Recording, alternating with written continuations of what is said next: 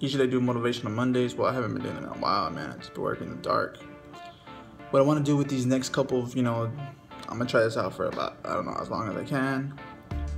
I'm gonna start doing motivational Mondays, but I'm gonna put these things on YouTube. You know, it's kind of like, I mean, I'm not copying anybody, but like it's kind of like uh, Eric Thomas's uh, "Thank God It's Monday."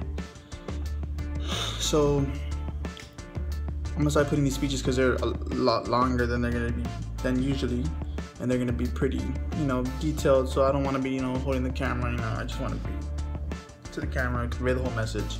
You know, just get to the point. You know. So yeah, every Monday I'm gonna put up a new video. You know, give little messages here and there just to empower people from the valley, empower anybody, just empower anybody, especially if you're Hispanic.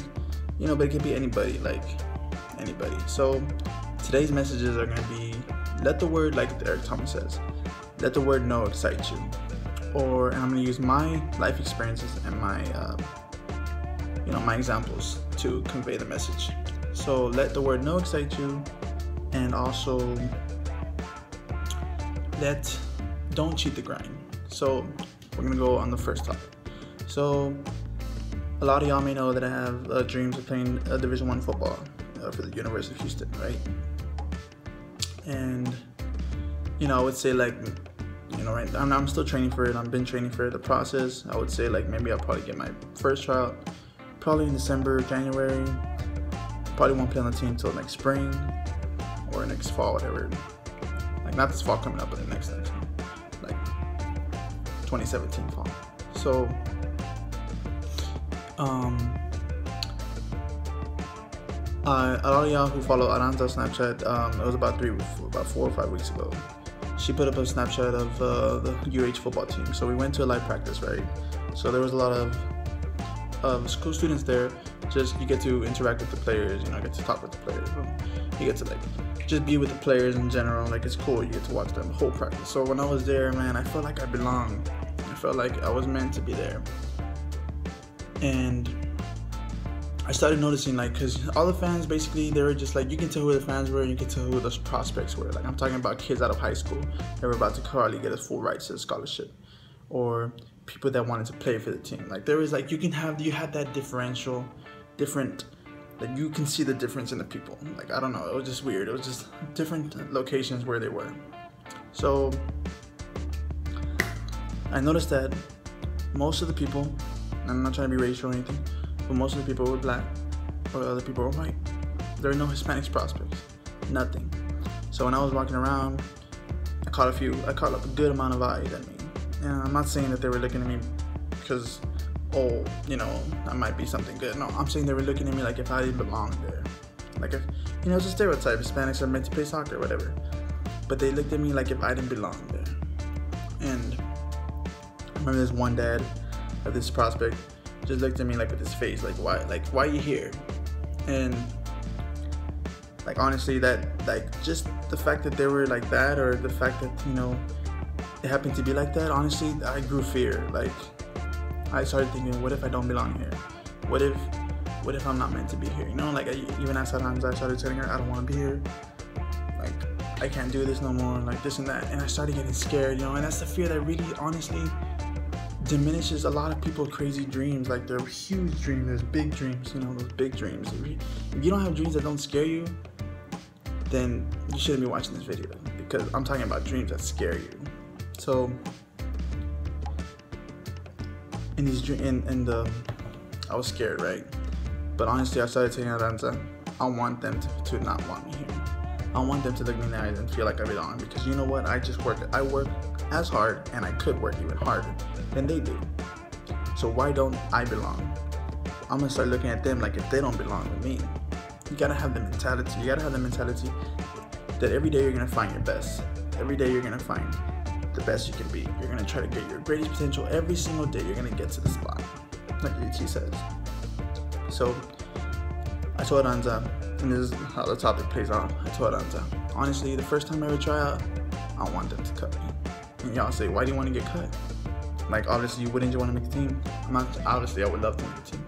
But I want to get cut because I know being cut and then telling me no is gonna excite the fuck out of me. It's gonna excite me.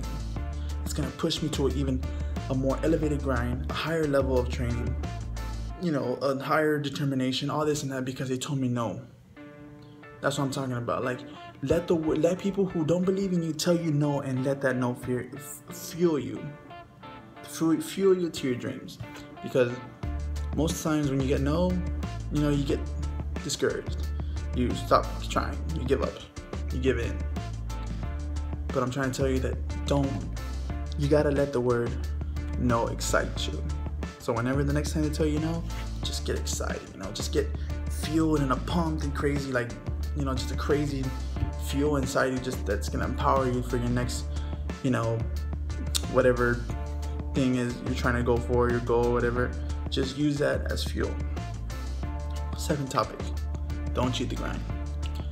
A lot of people, you know, they they want success, and who doesn't want success? But a lot of us want handouts. And that's true. A lot of us want handouts.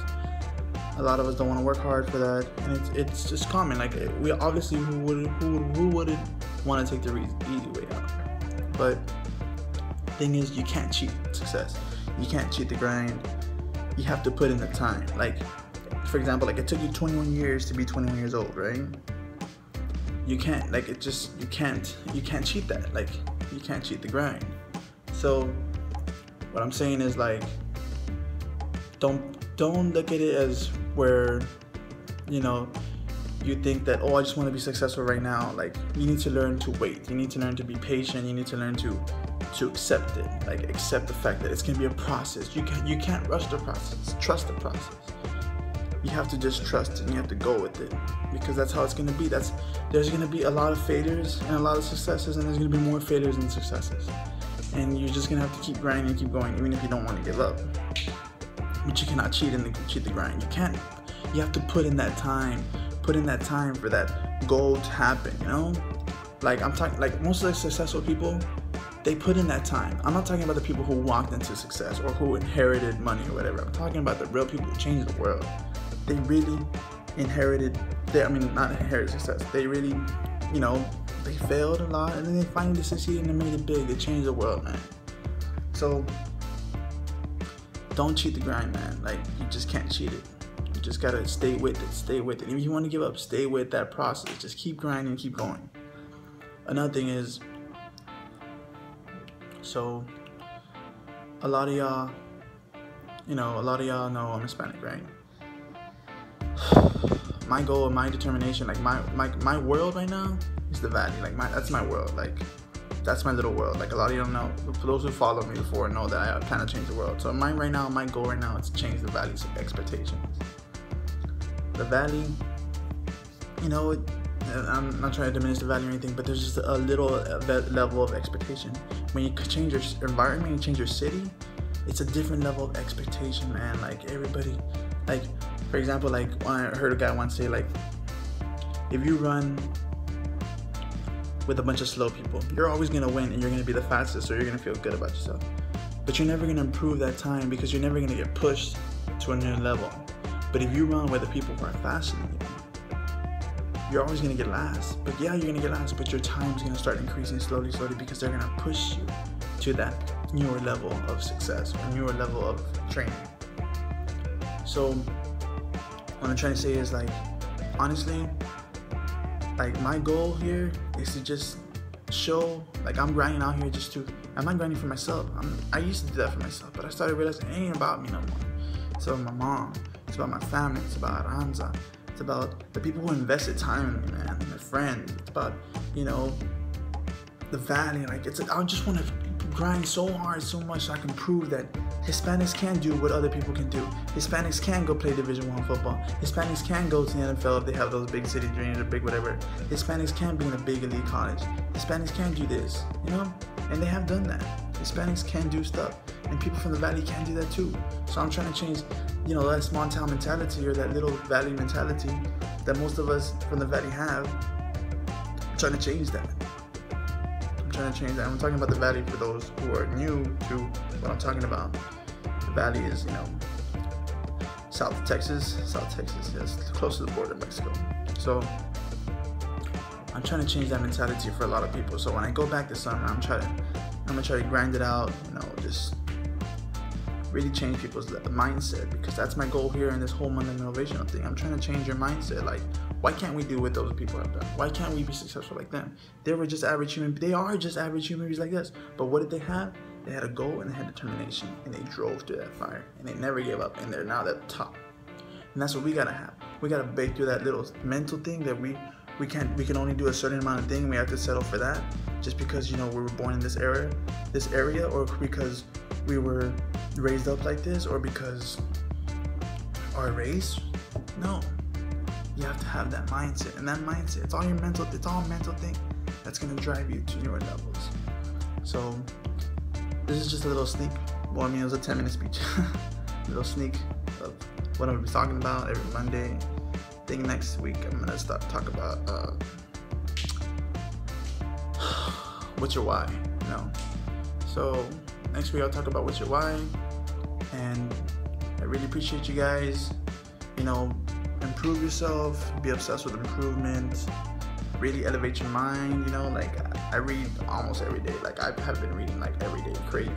I even read the good book, just the Bible, of course. Like just elevate, just be obsessed with improving and learn to accept criticism. Oh, you know what? I'm gonna next week I'm gonna do what's your why and accept criticism. Accept criticism. Topic on criticism because a lot of people and a lot of us don't like criticism. So yeah, guys, thanks for tuning in, and this is my first video, so I don't really know what to say. Like, like, thank you for watching.